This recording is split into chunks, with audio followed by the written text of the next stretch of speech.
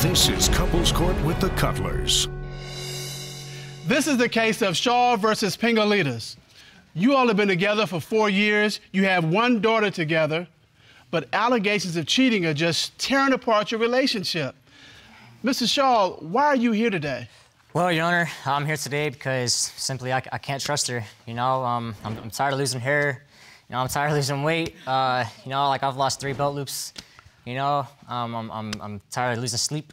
So I just, I want some answers. We watch litigants, and we can tell a lot about what's going on behind before they got here. You said, I can see that you are, you have this nervous energy. You you said you've lost weight. You go down three, but you ain't got nowhere else to go. You need to stop right there. That's right. You say you're losing yeah. your hair. You yeah. say you're not resting well. So. And here's the thing: we can see that tension. Right. In your body so. the, of what's going on with you. And, okay. and we're just acknowledging that. All of this because of the stress of on your relationship because you think she's cheating? Well, sir, uh, we have a daughter, you know, that's that's in the middle of it as well. Um, you know, so I want to move past all this for, for the sake of them. And the results of today's investigation mean everything to you. Yes, it means it means a lot to me. So I just want answers, you know. You want answers for the future of your relationship. Yeah. So if you would find out that Miss Pingledis is in fact cheating, what will happen? Honestly, uh, we're we're done. Everything is resting on what happens today. Yes, ma'am. All right, Miss Pingledis, what is your response? I mean, this young man, it's very clear that whatever is going on between you is wrecking him physically, not just emotionally, but physically. Yeah, I'm here today to prove to him that I'm not cheating, that I did make a mistake in the beginning of our relationship, but I shouldn't have to pay for that for, for the rest of our, you know, the rest of our lives. Um, he's gone to the extent of going outside my work with binoculars and watching me and going, yeah, at work, going through text messages, going through all of my personal stuff, trying to find stuff, and I, I can't live like that anymore. So you are trying to prove your innocence because you can't continue to stand the frustration of being watched. Yeah. Now, you said something right off the bat. You said you made a mistake early in your relationship. Yes. What mistake did you make? I did cheat earlier in the beginning of our relationship, maybe within the first six months. We were grieving over the loss of our friend, and um, a lot was going on at that time. I was emotional and vulnerable, and my ex still lived with me, like not my choice, but my mom's choice. And so things happened, and I was afraid to tell him. I recently admitted to it, but you know, I was hurt that I hurt him. Okay, so you had this slip up, if you will, with your ex. Yes. And you recently shared this with him? Yes. And you've added to that that you have a concern about the paternity of your daughter. Is that correct? Yes, ma'am. You know, it was, it was around the time that she... That she stepped out. Yes, ma'am. I can't do it no more. You know, I just need some answers. You've built a bond with this daughter. You have fathered her and nurtured her for the last 18 months, and now all that's in question. No, it's been in question, Your Honor. I don't know what to believe. Okay. We are going to order you, after this proceeding is completed, to go to paternity court with Lauren Lake. She's a, she's a good friend of ours because however this is going to pan out, however this comes out, whether you all together or not, you need to have that question answered. And if this relationship is going to move forward, you have to have that question answered for the stability of your foundation. Ms. Pingledis. Yes, Your Honor. You've cheated in the past. Yes, Your Honor. You've admitted to that. Yes. And sorry. Do you have doubts about the paternity of your daughter? No. There's no doubt in your mind? No. But I see that you're crying. Are these tears of frustration having to deal with this issue over and over again? Yes, Your Honor. And so you just want to get beyond this yourself? Yes. All right. You talked about her cheating in the past and how that hurt you, but you think she's cheating now. Well, is that is that correct? Yes, Your Honor. Okay. Just tell me one thing why you think she's cheating now. Okay. Um, there's uh, it was a few months back. For the first time in three years, she's never worked past 9, 9.15. She's closed, you know, closed the store. I get a phone call saying, hey, I'm working late tonight till 11. I said, okay. Uh, she said that she was behind the, the store waiting on the truck. Um, that's where I, where I had, uh, was already at. you know, and I said, well, hey, that's, I don't see you back here. Where are you? She hung up on me. Next thing I know, I'm, I'm walking around the building. Here they come out, you know, up front. Uh, I could have Who sworn I was- they? Uh, her coworker and um, Sophia. This is Okay. a male coworker? Uh, yes, sir. Okay. Okay, so you're behind the store and you're calling her saying, hey, where are you? She says, I'm in back of the store. And you're thinking, well, I'm in back of the store and I don't see you. Yeah. yeah, And so sure. then you go around to the front of the store and you see her with a male coworker. Well, they're they're walking into the front of the store, but I could have sworn that I seen him adjust his, you know, adjust his pants. Uh, her, she was putting on a sweater. I don't, I don't, you know, I mean, it, it, it scares me. Were you in the back of the store or in the front of the store? Um, my boss called me and let usually I'm the closing supervisor, so I closed the store. And my boss said, go ahead and just go home. The truck driver said he'd park the truck back there, go to a hotel, come back, and they, they unload at 6 o'clock in the morning.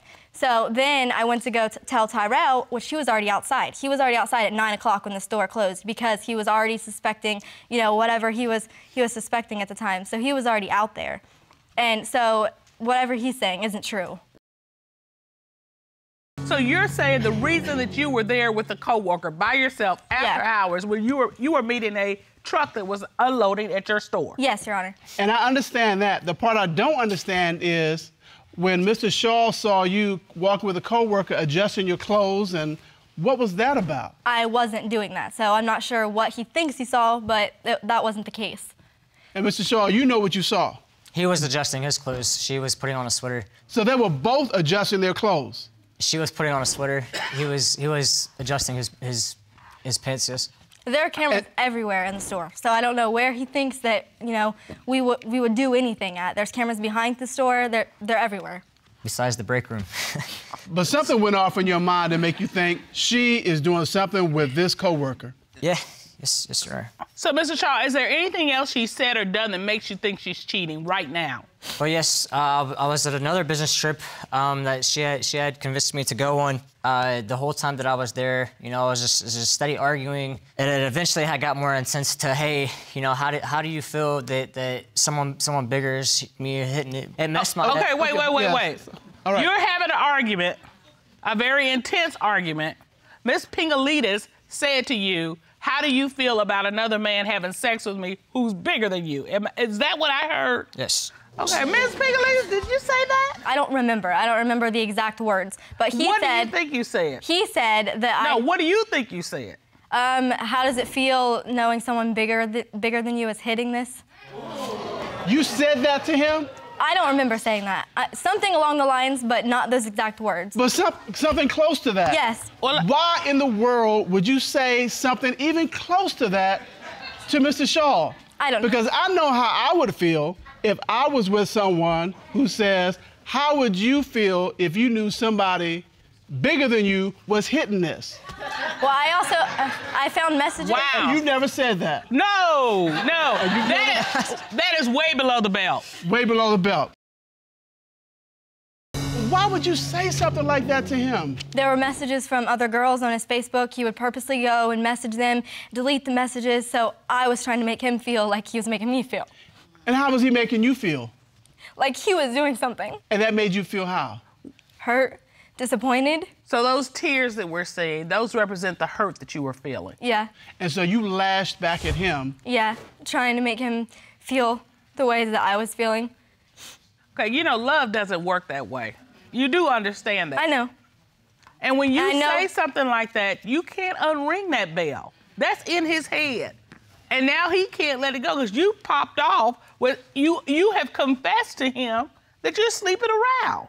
I, I didn't confess I was sleeping around. I made one mistake in the beginning of our relationship. That's No, all I, no, no, no, no. But once you said to him, how do you feel about someone who did hit this? You're like, this is happening currently. I, I said that while I didn't mean mean it like that. I was just trying to to make him.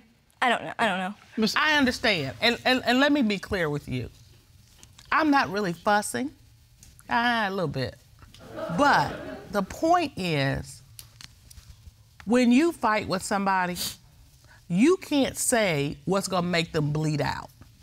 Because once you stab them, they're just bleeding. And if you felt badly, why would you want him to feel badly? That's just not how relationships and love works. You don't want the person that you love and care about to feel badly.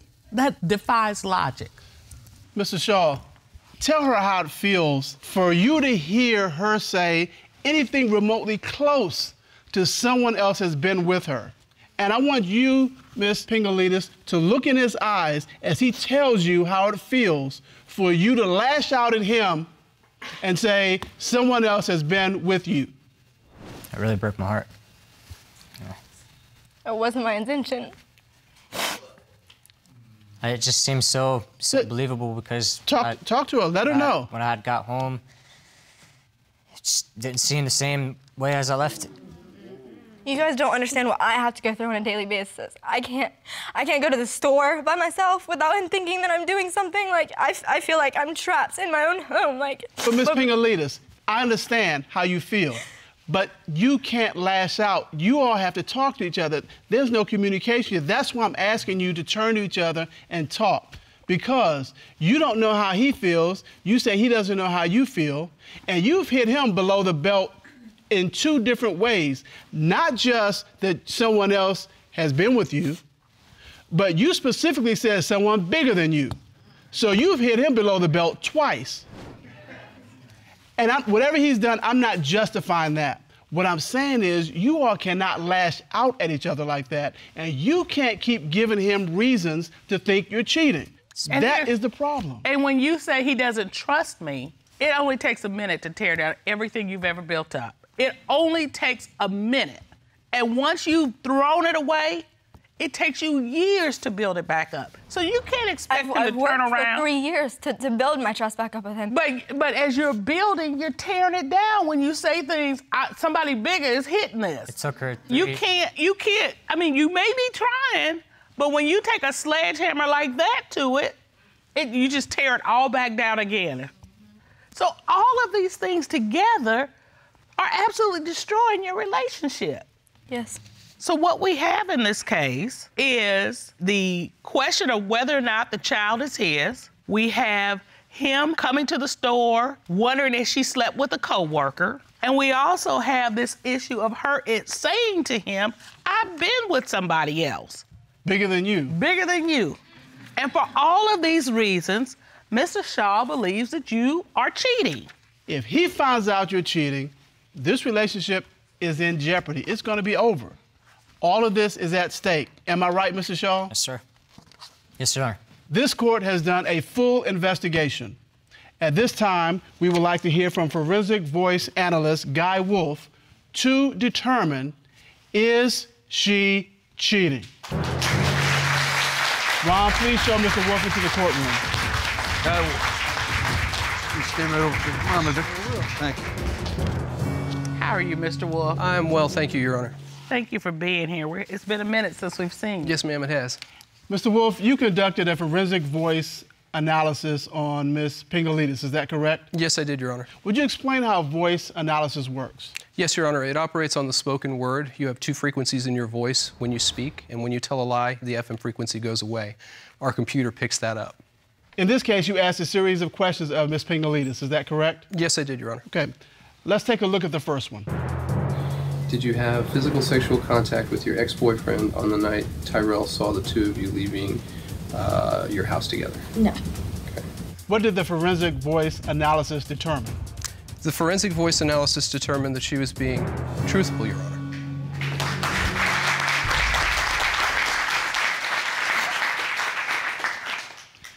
Now, let's take a look at the next question.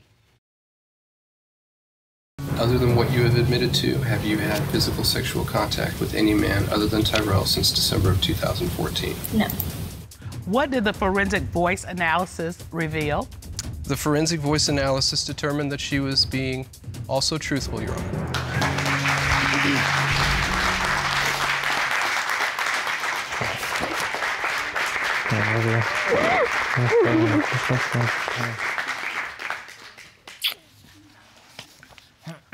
Well, the tension was So- thick in here. I would like to say, Your Honors, that I'm, I would, I would love to get the help that I need to, to get my family back on track. So, You all have invited a lot of stress into your relationship that should not be there. At your age, at your stage, this relationship should be fun, it should be exciting, it should be all of those things that you want in a relationship.